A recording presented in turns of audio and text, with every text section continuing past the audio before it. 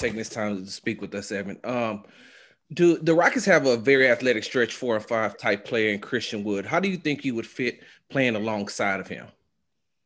Um, I just want to be in the best situation possible. Um, if that's the team that they feel uh, is best for me to uh, fit with them, and I'm just going to do my best. And um, I feel like I can play uh, alongside with anyone. Um, uh, yeah, I feel like uh, that would be a, a cool fit. Um, either way, um, I feel like I'm just a great player and um, have a great um, like team chemistry with a lot of different people. So um, I feel like I can play uh, with a lot of different people. And and to follow up on that, does watching the youth and athleticism of the Rockets excite you, knowing that you could potentially end up here in Houston? Thank you. Um, yes, um, they're they're young, a very young team and um, very athletic. Um, I'm also young and athletic, so uh, that's very exciting. Evan Dammarell, when you're ready. Hey, Evan. Thank you for your time. How you doing? Good, good. Um, how have your conversations with the Cleveland Cavaliers gone? And to kind of jump off the question before, how do you think you would pair alongside Jarrett Allen if he resigns at Cleveland this offseason? Um, basically, like I said before, um, I feel like uh, I, I, get along with a lot of different players very well. Um, I'm very versatile, um, big, and so I feel like I could bounce off of whoever. Um, as you see, I play with uh, my brother and um, at USC, and um, we're like a duo. So I feel like uh, I can be that with a lot of different players in the league. And how did your conversations with Cleveland go? Um, all the conversations I had with all the teams have been uh, well so far. Mark Medina, when you're ready. Evan, thanks for doing this. Uh, first off, were you able to say which teams uh, you've worked out with, talked with? And secondly, what do you think's gone into being able to develop a skill set of what an, a modern NBA center is in terms of being able to play inside, outside, and defend multiple positions? Um, yeah, I just let uh, my handle or my agent handle all that um, with the teams and everything. Um, and then as far as skill set and all that, I feel like um, for the in the modern day NBA big, you have to be able to shoot, um, guard multiple positions as well, um, be able to stretch the floor, put the ball on the floor a little bit, and um, all those skill sets I feel I have been refining and getting a lot better at during this pre-draft, and a lot of the skills I was already uh, I felt like I was already pretty good at as well. So. Alan Silva, when you're ready. Hi, Evan. It's Alan Silva from Costa Rica for PZ Basket. What are some aspects from your game that you think you will definitely improve while playing the NBA? Um, I feel like shooting, I would definitely improve. Um, this past year, I, I, didn't have a terrible shooting year, but um, I, there's room for improvement. I feel like I will make a pretty big stride um, playing throughout the years in the NBA on shooting. Next question is from Spencer Davies. Spencer Davies, basketballnews.com. Hey, Evan. Now, I'm sure that you don't listen to outside noise, but there's uh, you know a lot of tags that are associated with you as a prospect being high upside and you know having a high ceiling. Uh, does that at all motivate you to come in and be uh, immediately impactful for any team? And how do you feel about um, you know, having that attached to your, uh, you know, prospect name? Um, yeah, it, it gives me a lot of motivation. Um, I'm already very motivated to come into the league and be a very impactful player um, on whatever team I land on. And, um, but seeing that, yeah, it definitely motivates me. Omari Sankofa, when you're ready. Hey, Evan, thanks for doing this. Uh, you worked out with the uh, Pistons recently, right? Um, I can't really disclose um, all the workouts I've been. Sure. Well, overall, I guess uh, sort of what have those conversations been like, if you could uh, reveal that And uh, then also when you look at that that roster, just how do you see yourself? Of course, as a team, you have Killian Hayes, uh, you know, you have Sadiq Bey, Isaiah Stewart, who are with the Olympic team. Just how do you see yourself fitting a core that's that young and obviously has some uh, upside?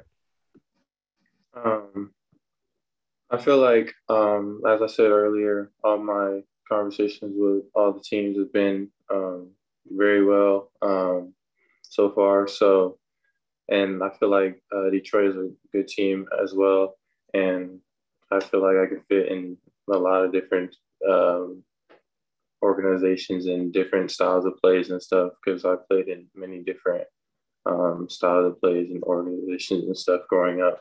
So um, I feel like I can adapt to a lot of different things.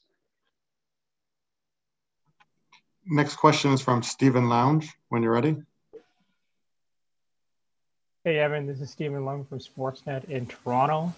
Uh, I, I, just wanted I just wanted to know, like, um, you the, the Raptors have a uh, a kind of reputation for being really good at uh, player development, or player development development team. Um, what what have you heard about uh, about the Raptors in that regard? Um, I've heard similar things as well. Um, they're a, a, good player um, development organization. Um, they when players get there, they get better, um, and uh, great city and all that. So I feel like overall, there's a lot of different teams that have that uh, aspect, and uh, Toronto is definitely one of um, a, a, good team that uh, does a lot of player de- development. Thank you. Next question is from Mario Gamboa. Hi, Evan. Thanks for your time. Mario Gamboa from Grupo Legado. Um, in recent years, we have seen the importance of the big man in the NBA grow. Uh, Jokic winning MVP last year, and B. Giannis dominating the East. What do you feel makes you different from the rest of them, and how can you contribute in this position, regardless of the team that drafts you? Um, I feel like my agility and length and defensive presence is my top main things that make me different. Um, I feel like I can guard uh, almost every position and move my feet very well. Um, as well on the offensive end, um, I can shoot the ball on a pretty um, uh, well clip, and then as well as put it on the floor, um, run the floor as well, really good. So um, that's uh, some aspects I feel like that are a little bit different or better than uh, other bigs. Thanks, Evan. Cody Taylor, when you're ready. Hey, Evan, appreciate your time today. What What are some of the the qualities that that you want to see from the team that eventually drafts you?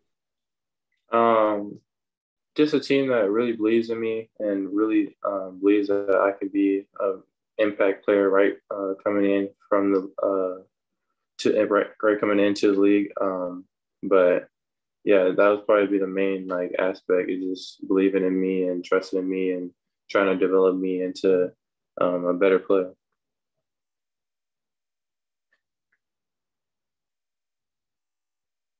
Chris Fedor, when you're ready.